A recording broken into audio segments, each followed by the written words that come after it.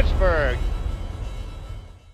fact that he had just played his 1,000th game in their loss to the New York Rangers the other night. Here's our Kia starting goaltender. Marc-Andre Fleury's record not great here in New Jersey over the years, but he doesn't have to face Marty Brodeur at the other end. Our Hyundai starting goalie is Marc-Andre Fleury, again, another chance uh, to get that 20th. But yes, Cory Schneider, our, our Hyundai starting goaltender.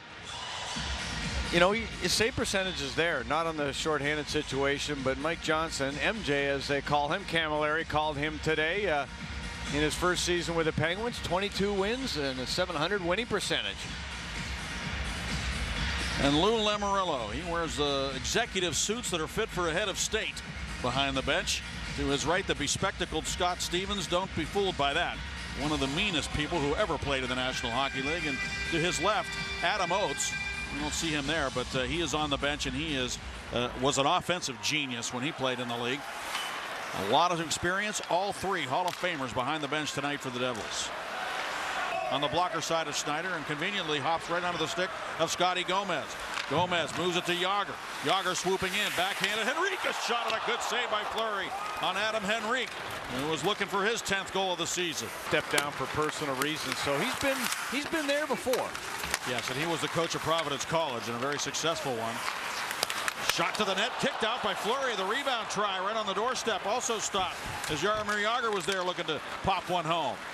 So Zidlicky shot a good one through traffic, and Fleury had to be sharp with that right pad. Now it's Megna into the Devil zone. Sestito right up the middle.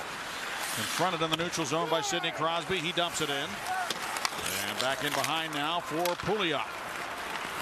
Kunitz hands it off to Crosby coming with speed around Greene. Crosby's backhander. Did that go in? I think it it did. did. Yes, it it did. went up underneath the crossbar. Crosby scores a beauty off the rush on a backhand shot to make it 1 0 Pittsburgh.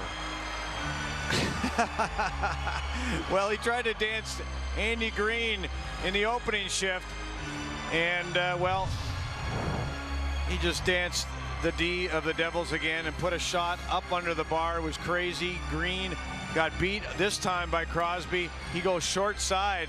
As you can see, Schneider moving off the goalpost. Nobody's got a better backhand than that, and that is top shelf where you put the peanut butter.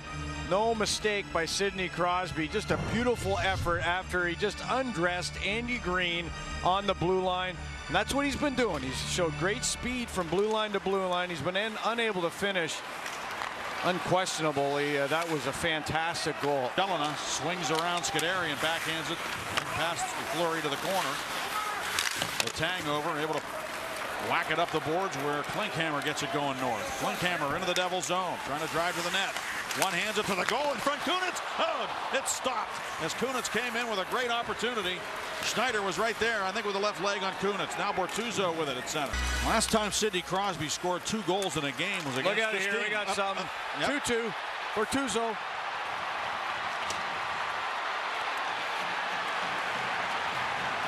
Boy, Tootoo was down. He was up. They were rolling around off the face-off. And we expected we might see that. Tootoo and Bortuzzo. Tootoo wanted a piece of Bortuzzo. This goes back to the Jagr incident. Bortuzzo laying out Jagr a two-game suspension on what the NHL called a late dangerous hit. And Tootoo wanted a piece of him now. He gets it this time as they line up on the wall. And there they are, the left side of the screen. And just waiting for the puck to be dropped. And they were going to go this time, weren't they? And Tootoo went right on his back. Somehow he's able to bounce right back up. That's hard to do as Bortuzzo tried to pin him to the ice. Tootoo would have none of that. The centering pass by Goc, but the Penguins didn't get it out. The Devils get another crack here. Zubrus to the corner for Cammalleri. Up top, Zidlicky fakes. Finds Harrold. Zidlicky to Cammalleri. Back to Zidlicky. A drive. Fleury the save of the rebound. He stopped Zuberson on the rebound. Zajac is able to score. And the Devils have tied the game at one. It's a power play goal. Well, the Penguins had a chance to get that puck out in the slot area. Marcel Goc was the man that didn't get out as he had sticks all over him. And the Devils really pounced. They passed the puck around for what seemed like an eternity. 40 seconds of the power play. They finally, Zidlicky gets the shot to the net. The redirect by Zubrus. And there is the finish by Zajac. You can see them just converge on the net. Cammalleri with a crack. Coming in from behind, and it's uh, Zajac at the end of the day, the right-handed shooter that lost the puck up over top of fallen Marc-Andre Fleury. The power play for the Devils ties it at one.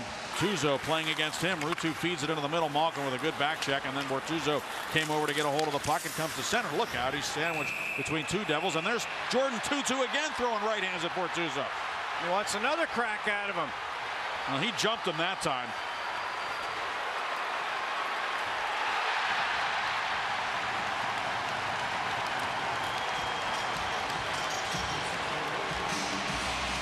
You can see the uh, the blood under the right eye of Robert Bortuzzo and the mouth area. Bortuzzo drew a penalty there. Maybe more than one. Back into the corner now to Malkin.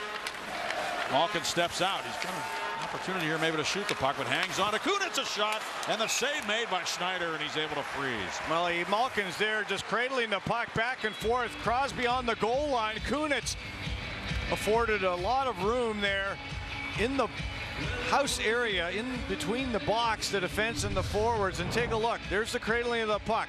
Greene's got a stick down there preventing the Crosby play. That allows that seam pass to Kunitz, and Kunitz with a good opportunity. 16 seconds left on the penalty. Him in the back of the head, and then Henrique returned to favor. Yeah. Now down the wing comes Megna. There goes Jagr the other way. Jagr swooping in now for the Devils. He shoots it. He scores.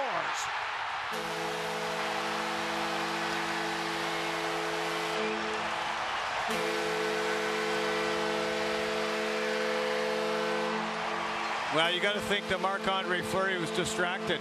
He got bowled over in front of the net. Henrique got into his kitchen.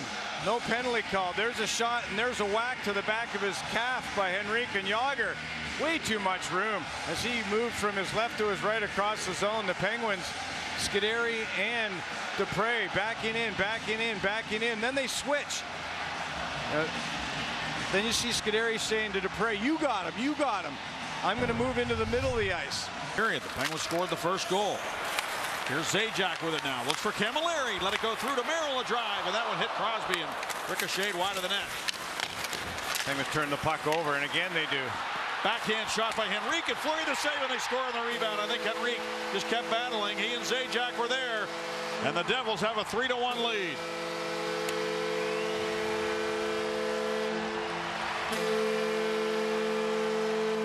Well, really, that's a dangerous line, and twice the Penguins turned the puck over. And you're going to pay Henrique again, got right to the feet of Marc-Andre Fleury, and he was the man who poked it in.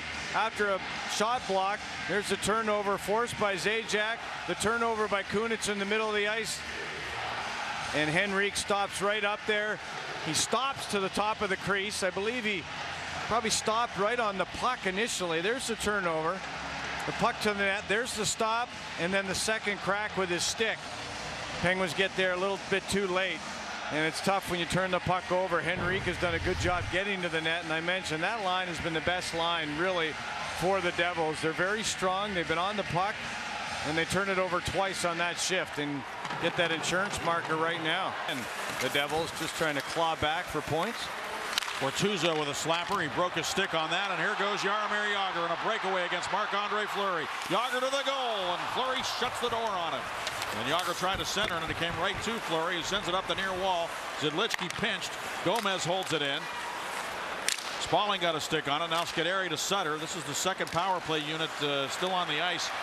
And here's a chance now for Gomez. He turns, Looks back for Merrill, and it's intercepted by Spaling. And with a puck, he shoots it. He just missed. Ooh, there was a spot in that glove hand, and he almost had it. Malkin to Pouliot. He'll wrist one through if he can. Here's Dumoulin with it. He fires. Save made on a redirect. Rust for the rebound chance. And Schneider made the left pad save on Bryan Rust. Oh, man. Vertical leap. Malkin kept it in. Crosby with it. Sidney Crosby to the side of the net. He looked for a uh, redirect there by Rust.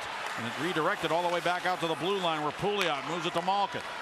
Penguins with the extra attacker on. The net is empty down to our right. The shot by Pouliot is blocked. Cammalleri with a puck. Pressured by Sidney Crosby. And the Devils are able to clear it. The Devils faithful on their feet.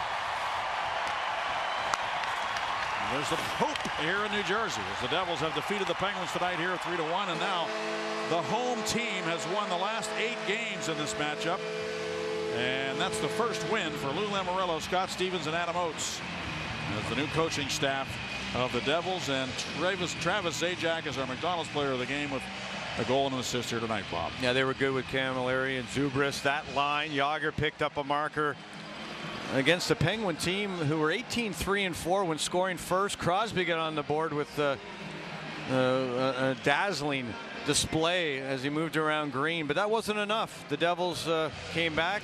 They were able to get on the board. Their power play did score a goal here tonight. The Penguins didn't. That's the story of the game here tonight. Let's go to Robin Jay.